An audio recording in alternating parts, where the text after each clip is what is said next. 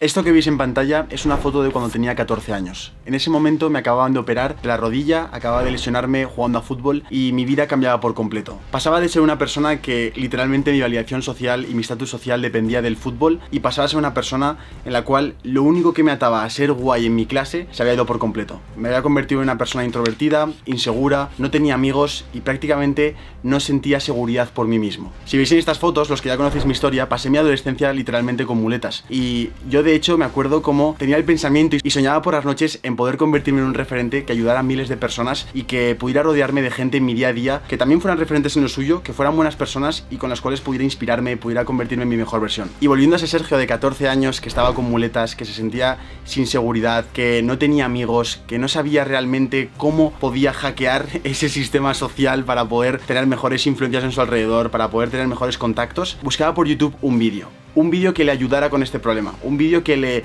resolviera esta duda de cómo funciona la gente, cómo poder ascender, digamos, de esos niveles sociales para poder rodearte de esos referentes y no lo encontró. Así que chicos, ese vídeo que estaba buscando ese Sergio de 14 años es este. Bien, te cuento el plan de lo que vamos a hacer en este vídeo. Te voy a contar 5 pasos sencillos de poder hacer para que tú puedas empezar desde ya a poder mejorar este proceso, para poder mejorar esta parte de tu vida y que consigamos el objetivo de este vídeo, que es hacer que tú consigas mejores amigos, mejores personas en tu entorno, porque cuando tú lo consigues, cuando tú tienes esto, te permite muchas veces el no tener que estar eh, rompiéndote la cabeza con cómo consigo hacer algo o cómo consigo eh, solucionar un problema, sino que simplemente tienes que hacerte la pregunta de a quién llamo para que me eche una mano con esto, para poder avanzar mucho más rápido. O imaginaros un después de estar todo el día trabajando, después de estar todo el día haciendo tu actividad o lo que tú hagas en tu día a día, poder desconectar con esa gente que, con la que tú conectes en, en otros niveles, un nivel espiritual, en un nivel de visión de la vida, de valores. Y como digo muchas veces, la información que tú recibes y luego no la aplicas y la llevas a la acción, no es aprendizaje. Literalmente has perdido el tiempo. Así que por favor, no pierdas el tiempo viendo este vídeo y aplica estos cinco pasos. El primero es, haz el ejercicio de la mujer ideal. Bien, para esto os voy a explicar una historia que me pareció muy impactante cuando la escuché por primera vez y hubo un profesor en una universidad en la que era un viernes por la tarde, imaginaos los viernes por la tarde, yo me acuerdo que estaba con ganas de comer por la merienda, me acuerdo que quería jugar en el parque con mis amigos y quería, era como el día más feliz porque estaba con esa ilusión de que llegara el fin de semana. Pues era esa tarde y notaba el profesor que los alumnos no tenían atención, que habían perdido la atención completamente y que no estaban motivados, no estaban prestando atención y algo estaba pasando. Y se daba cuenta que cada viernes había menos alumnos y él no sabía qué es lo que estaba pasando. Hasta que se dio cuenta, a raíz de una persona que chismorreaba una información que consiguió captar el profesor, estaban saliendo de fiesta el día anterior. Así que este profesor lo que hizo la semana siguiente fue, ese mismo jueves antes de que salieran de fiesta, les dijo, si venís mañana os contaré el secreto para que todos podáis ligar con la mujer de vuestros sueños. Claro, imaginaos, la clase se quedó flipando y la asistencia al día siguiente a la clase fue mucho más alta. Cuando llegaron a la clase, lo que sucedió fue que el profesor les dijo,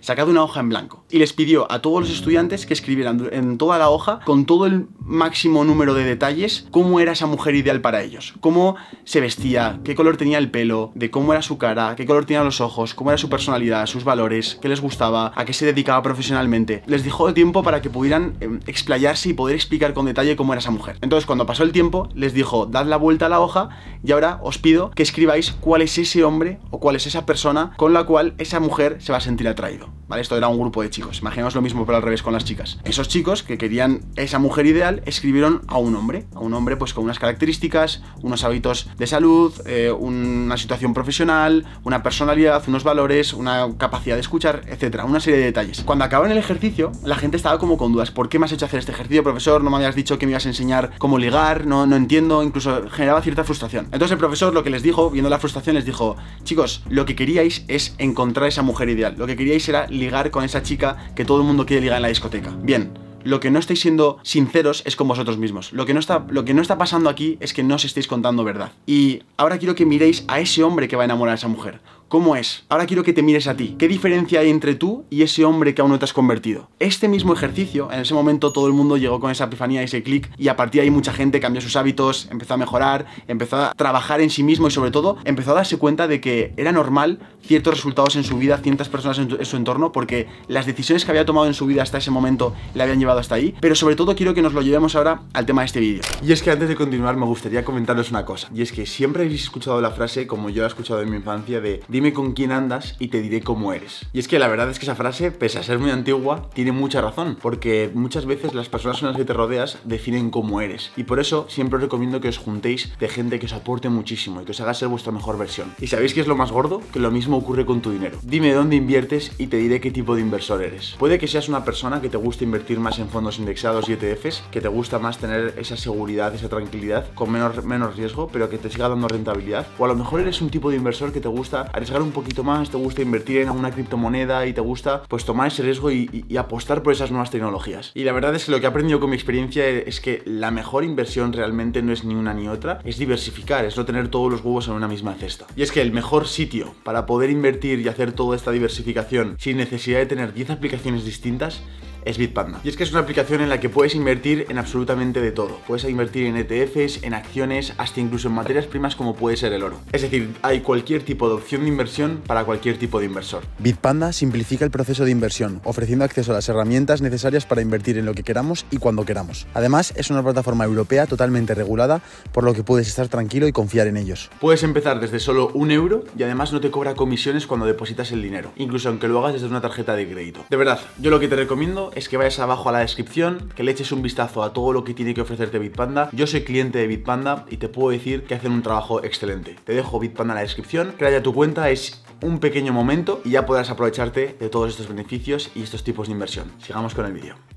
Literalmente este ejercicio de la mujer ideal lo podríamos hacer para nuestro entorno. Mira qué clase de amigos tienes, mira los planes que te proponen, mira las oportunidades de ideas que te llegan por WhatsApp, mira sobre todo cómo reaccionan cuando tú les compartes tu visión de la vida, tus sueños, las cosas que quieres lograr. ¿Te impulsan o simplemente se encargan de pisarte, reírse de ti y hacerte sentir que no vas a ser capaz de conseguirlo? Eso no es ni malo ni bueno, simplemente es neutro. Simplemente es una información que tenemos que coger, tenemos que asimilar y tenemos que trazar ya el plan desde hoy. No vale esperar al día siguiente para convertirte en ese hombre, para convertirte en esa persona o en esa mujer que vaya a conseguir mejorar ese entorno. Y con esto hay una serie de pasos, una serie de hábitos con los cuales tiene mucho que ver este paso número 2. Y es, sé siempre el primero en saludar. Que siempre que veas a una persona que vaya a ser interesante en tu vida, con la cual vayas a aprender, con la cual piensas que puedan salir oportunidades comerciales, con la cual piensas que incluso podrías llevarte bien porque ves su personalidad y ves que hay, hay muchas cosas en común entre esa persona y tú, sé tú la persona que le dice hola, sé tú la persona que pregunta que qué tal está, sé tú la persona que literalmente le haces el cumplido. Pero tienen que ser cumplidos aquí, ojo importante con todo esto, tienen que ser cumplidos de verdad, luego hablamos un poco más de todo esto, pero por favor, sé tú la persona que da el paso, sé la persona extrovertida en esta situación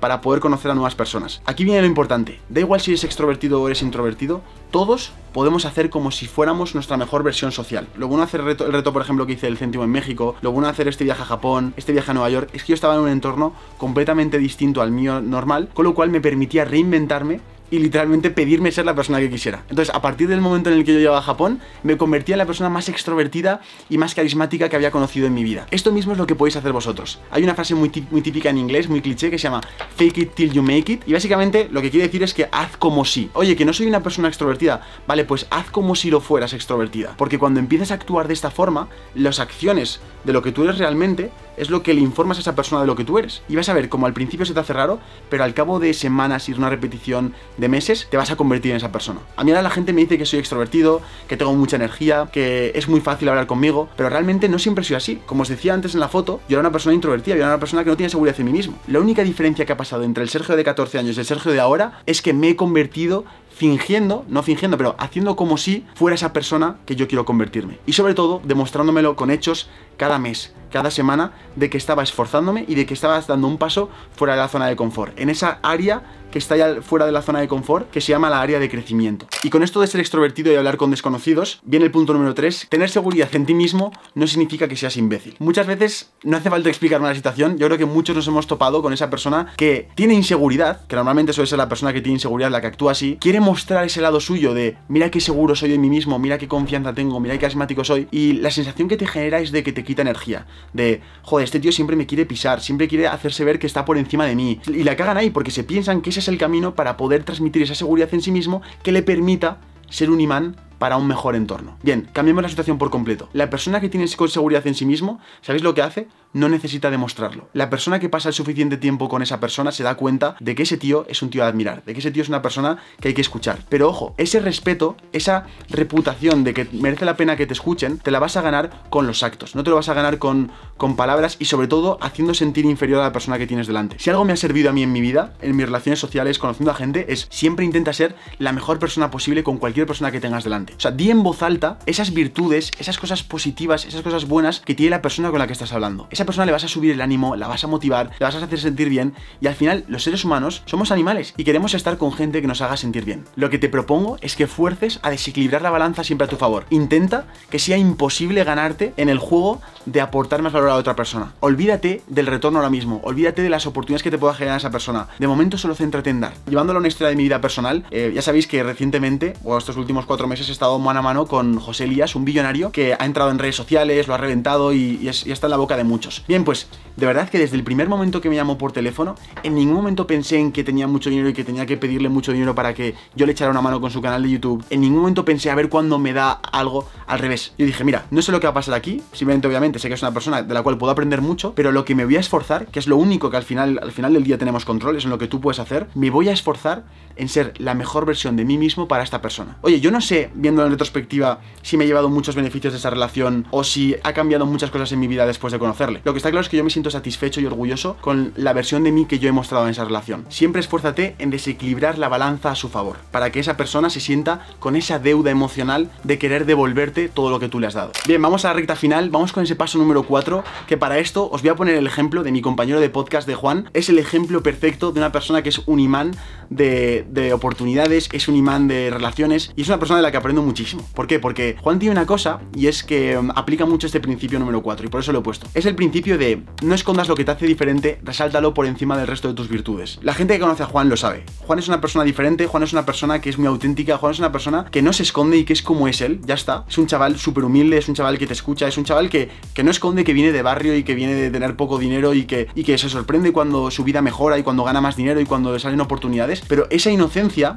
esa vulnerabilidad es la que le hace conectar con todo el mundo. Entonces, aquello que tú tengas diferente, yo por ejemplo, no puedo cambiar mi energía, no puedo cambiar mi alegría, mi positividad, pero sobre todo no voy a esconder mis vulnerabilidades, no voy a esconder esas cosas que a lo mejor pienso que son defectos, pero que realmente lo que no me estoy dando cuenta es que esos defectos esas vulnerabilidades son las que me hacen conectar con mi audiencia, son las que me hacen conectar con nuevas personas en mi entorno. Y de hecho, como he dicho antes con la audiencia, todos estos consejos que os comento aquí ahora mismo te sirven si lo quieres aplicar en tu marca personal. Ya sabéis que yo eh, tengo una formación que se llama Instituto de Marca Personal, en la que ayuda a mucha gente a trabajar sus marcas personales y poder llevarlas al siguiente nivel. Y lo que más me encuentro es un problema de esto, es un problema de que se ponen a grabar y cambian completamente su personalidad, cambian su forma de hablar, cambian su forma de contar historias y es en plan, no, no, cuenta tus historias, cuenta cómo las viviste, cuenta cuando la cagas. Me decía un tío, no, es que quiero meterme al mundo del trading tal y quiero ser un referente. Y le digo, vale, pues lo primero que tienes que hacer es contar cuando cagas en las inversiones. Y dice, pero ¿por qué? Entonces pierdo la autoridad. Al revés, porque en un sector donde, donde nadie se cree los resultados que, enseña todo el mundo, de que todos son millonarios al parecer a, partir de la inversión, tú si de repente no paras de mostrar cagadas, la gente va a decir, ostras, este tío es diferente. Este tío seguro que cuando me muestra un éxito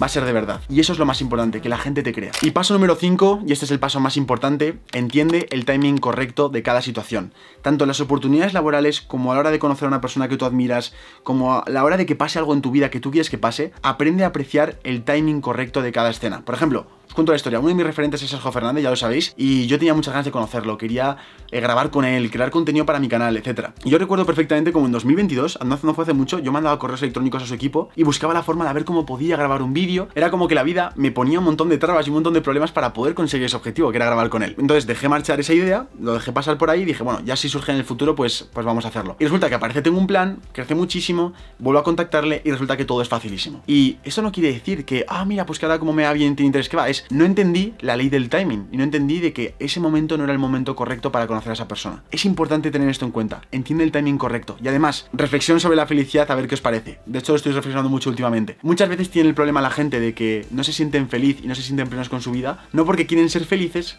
sino porque quieren ser más felices.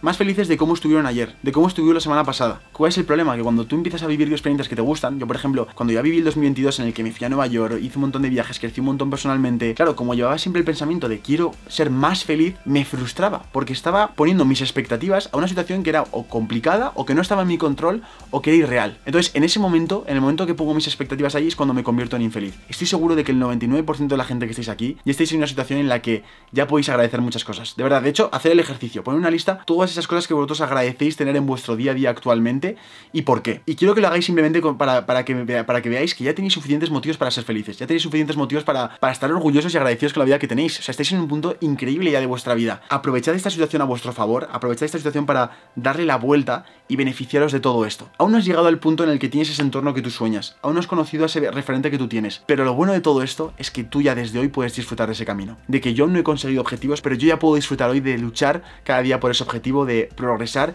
y de sentirme agradecido de cada parte de ese camino. Ahora conozco un entorno, pues agradezco lo que tengo ahora mismo, agradezco lo que tengo, ya agradeceré la persona a la que me convierto más adelante y ya me agradeceré ese entorno, porque si no agradezco hoy, lo que pasará será que cuando tú tengas ese entorno nuevo, ese entorno que tú tanto, tanto estabas persiguiendo, volverás a caer en la trampa de la infelicidad. Así que chicos, espero que haya servido, espero que estos cinco pasos sobre todo vayan a la acción, que no se queden simplemente en ideas interesantes. Eh, si me acabas de conocer, me llamo Sergio Veguería, hablo de todo esto y de verdad es que llevo los últimos seis años compartiendo contenido sobre desarrollo personal, sobre emprendimiento y todo lo que voy aprendiendo, porque no soy el, el que más sabe de emprendimiento, no soy el que más sabe de desarrollo personal, pero sí que soy un eterno aprendiz que te quiero compartir cada fallo, cada error cada aprendizaje que me llevo por el camino. También tengo un podcast que se llama Tengo un plan, en el cual hablamos con un montón de gente súper interesante, a lo mejor te mola verlo. Y sobre todo te recomiendo que me sigas en Instagram, porque ahí comparto mi día a día y píldoras de aprendizajes que me van surgiendo y os enseño mi vida por dentro por Instagram Stories. Así que os dejo todo en la descripción. Gracias por estar hasta aquí y nos vemos en el próximo vídeo. Hasta entonces, os vigilo y hacer el cambio. Adiós.